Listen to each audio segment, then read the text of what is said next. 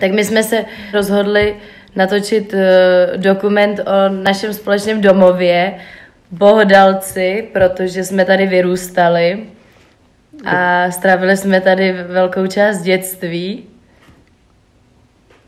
Je to tak. Takže jsme vlastně sousedi. Přesně tak. A Bohodalec je náš domov, na který teď budeme vzpomínat.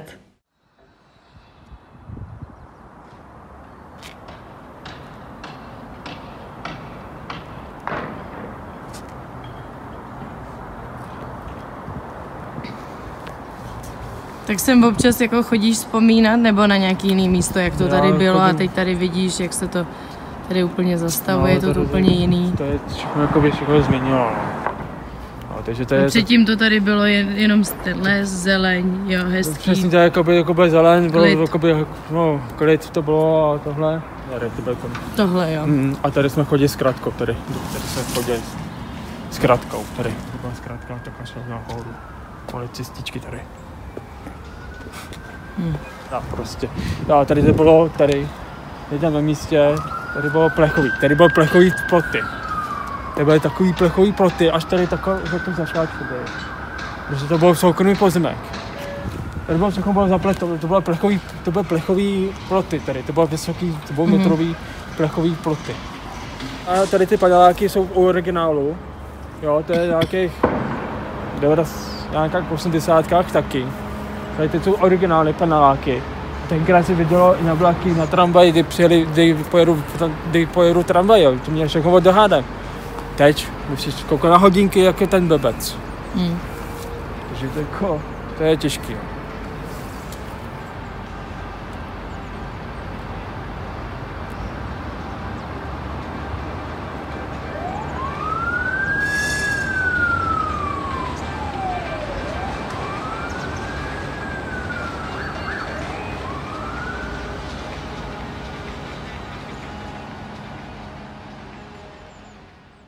Co pro tebe znamená domov?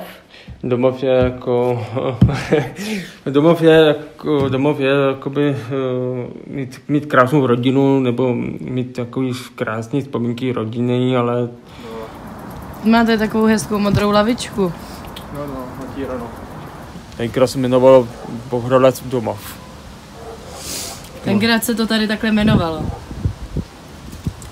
Ale v domov je jako mít nějaký, třeba já nevím, být férový lidi, pomáhat za, za zájem, to jsem ty jednou tady udělal víckrát. Domov je tady vašeho baráku, jedině. Domov je jakoby, to je chodit za vámi jako na nějakou návštěvu, no, takže to je Takže ví- víc domov je pro tebe tady náš barák. přesně tak, ale jenom jsem chodím jenom na návštěvu, takže takhle, víc nic. Tohle je to hřiště už. No, tady to bylo takhle. Tady to nebylo nový, to bylo všechno rozpadnutí. To, to bylo, to je originál, hele to. To je ještě originál, to je ten plot. Tohle plot, jo. Jo, tady ten byl, je originál.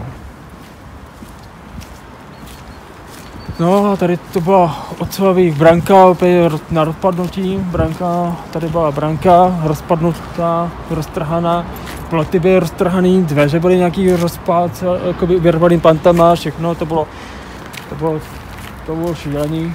Jo, to bylo všechno a tady bylo nějaký, tady byla nějaká hlína, nebo co to bylo, prostě to bylo, nebylo to dobrý.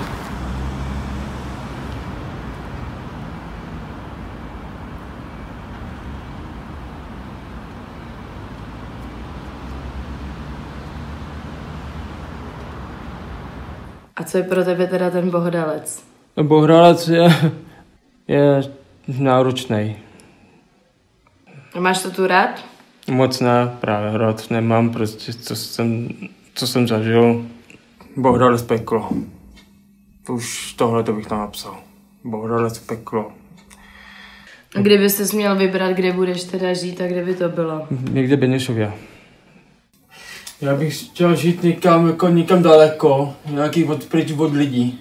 Mhm abych měl všechno, bych měl svůj klid a svůj prostor a abych se trošku o tom nějaký stran přemýšlel. Hele, a poslední otázka pro no. dnešek. Co naopak tě udělá šťastným? Co máš, čeho máš radost?